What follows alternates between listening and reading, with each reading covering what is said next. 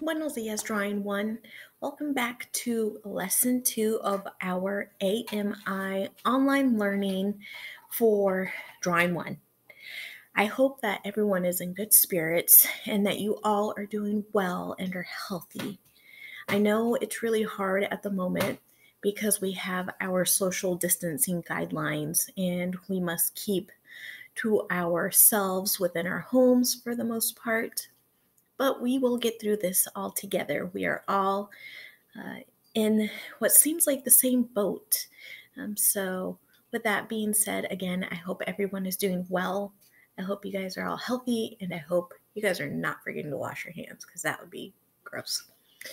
So, as we are moving on, we are going to continue focusing on a photography series. However, we are going to focus on one point and two point perspective, which was something we had started and visited before our spring break slash school closure. With that being said, you will be following me along with this PowerPoint so we discuss what it is that I expect from this assignment from you. And I hope you have a great time with it. I'm trying to make art projects to where most to all people can do this with no problem.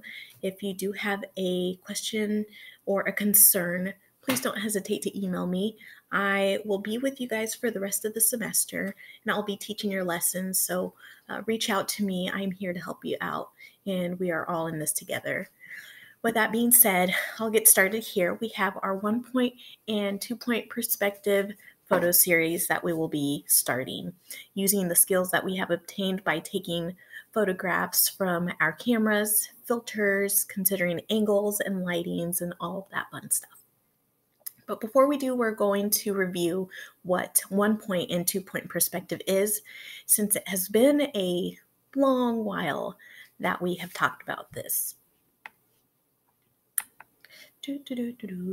One point perspective is a composition, a drawing, a painting, any of that that has one vanishing point. What is a vanishing point, you may ask again? A vanishing point is the portion of the drawing where everything comes together at a point and it seems to disappear, get smaller. Uh, things start to get a little blurrier in that instance. Here in this example of Van Gogh's painting of his room, you can see that the vanishing point here is going to be our blue dot here where my cursor is. And if you look, the lines uh, that conjoin to that point the objects that are closer to me and to the viewer are larger and tend to be closer to the bottom of the painting.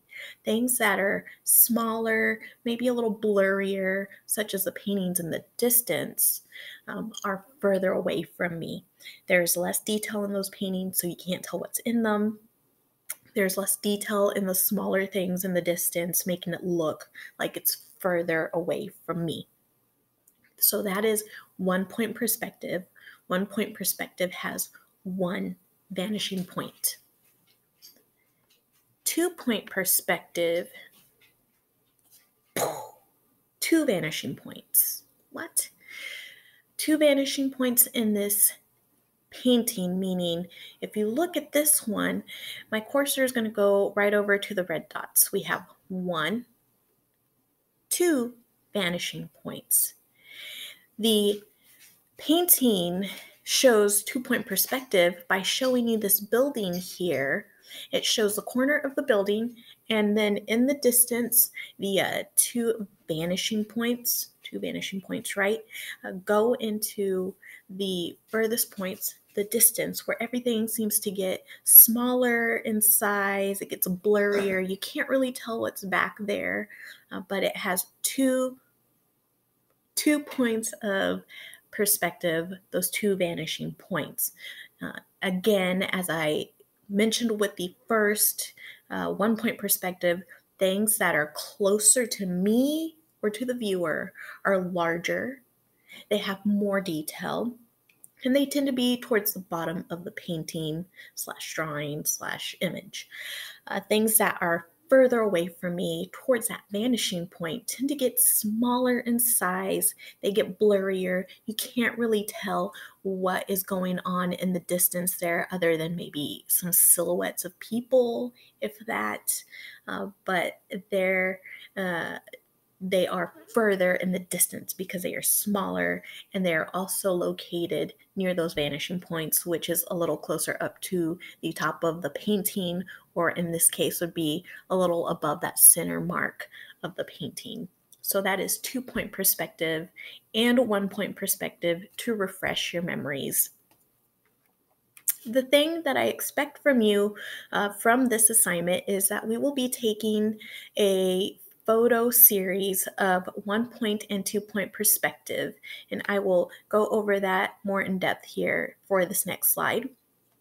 Photo series meaning there's going to be more than two images.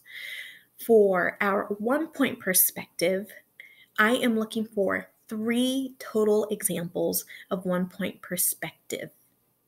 For two point perspective, I am also looking for three total examples of two point perspective no less. So you should have a total of six images when you go and turn this into the Google Classroom. Try to stick to a theme for each set, meaning for each three photo, photo sets that you take, try to stick to a theme. It can be anything that ranges from building my own naturescape to for me, my two point perspective is living the life, which is focused on home and playing with toys. And uh, my husband is reading a lot of graphic novels. So uh, I will show you my examples here shortly. But um, they the themes can be centered around uh, things that you enjoy, such as sports, um, art stuff, uh, you can center it around nature things, uh, things around your home. I do highly encourage you to take this photo series at your in your living space so at your home um, in your apartment maybe in the yard at most remember that we are practicing social distancing and we must uh, stick to those guidelines so we keep ourselves safe and healthy during this time. So, again, I highly encourage you to get very creative.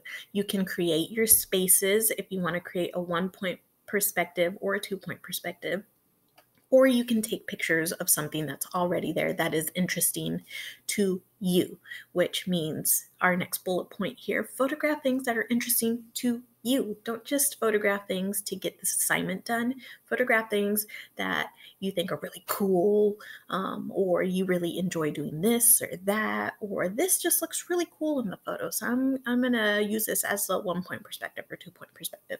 Um, either either way, uh, do have fun with it. You are able to use photo filters like we did with our last project. You can use the social me- media apps to filter your photographs or just use whatever you have on your phone's camera options.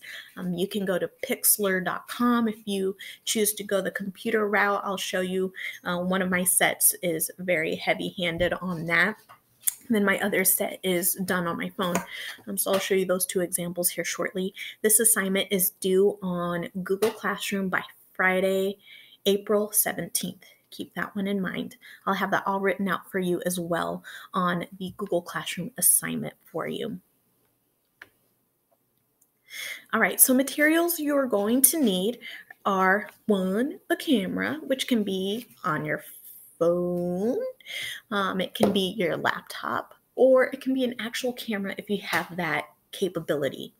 Um, you will also need objects and or places. White objects, I'll show you here shortly, um, but definitely keep the guidelines of social distancing. So I highly encourage you to stay in your space, in your living area, whether that again be a house, apartment, whatever uh, you reside in. And you can also roam into your yard as well. Uh, and you will also need filters. So um, again, you get to play with that uh, sense of filter and create this photo series. So that is all you're going to need basically for this assignment. I try to make it pretty uh, standard and pretty easy for you guys to be able to do. All right, so here is my first example of my one point perspective series.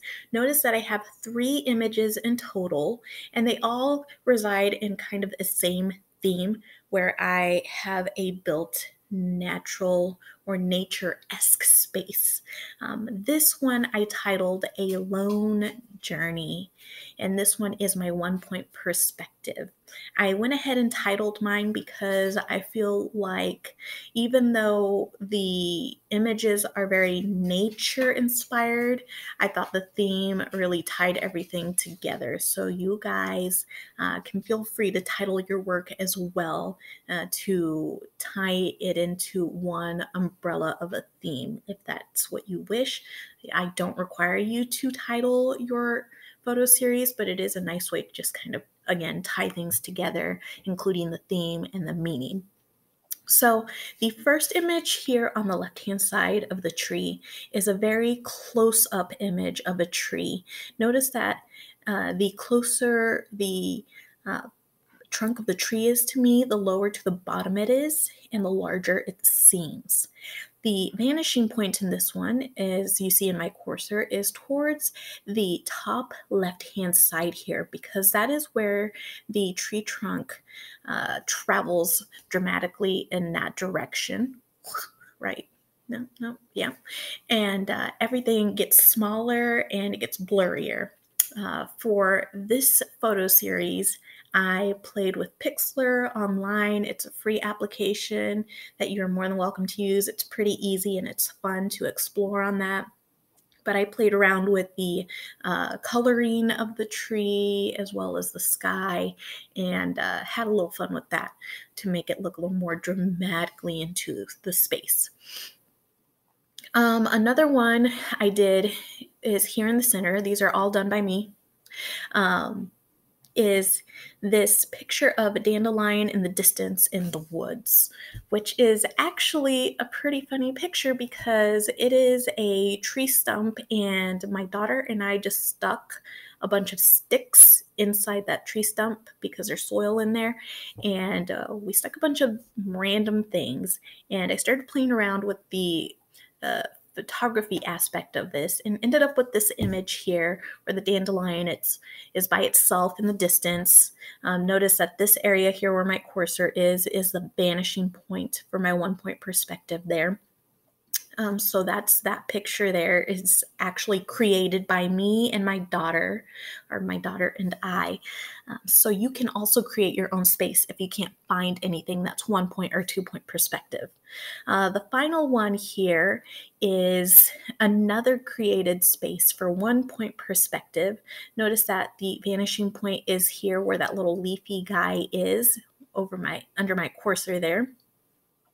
This is actually a pile of rocks. Uh, my daughter likes to collect rocks, so I threw some rocks on top of each other and started photographing it and found that this one uh, looked really cool because it looked like a cave and everything that's closer to the bottom is larger and looks closer to me. Therefore, that little cave opening that you see there looks further away because of that little grass or leaf blade that's sticking out. Um, it seems to be further away because it's smaller and in the distance it's a little blurry. Um, but uh, again, you can find your space to show one point perspective, or you can also create it, which is what I did with these uh, two right here. This one, most obviously, I did not create the tree, but I did take a dramatic angle shot of the tree trunk to kind of show what I wanted to do there for my alone journey. My next one here is two point perspective. As you notice, again, there is a total of three images for my two point perspective. I titled this one Living the Dream, being slightly sarcastic in that way. Um, if you notice here on the far left hand side, that is a photo of the outside of our home. The closest point to me is the corner of the house, and the two vanishing points go off to the side here where everything seems to get smaller. Notice on this side, everything gets smaller with the uh, lining of the house. And then this one isn't as dramatic, but it just kind of jets off the edge of the paper there. I played around my phone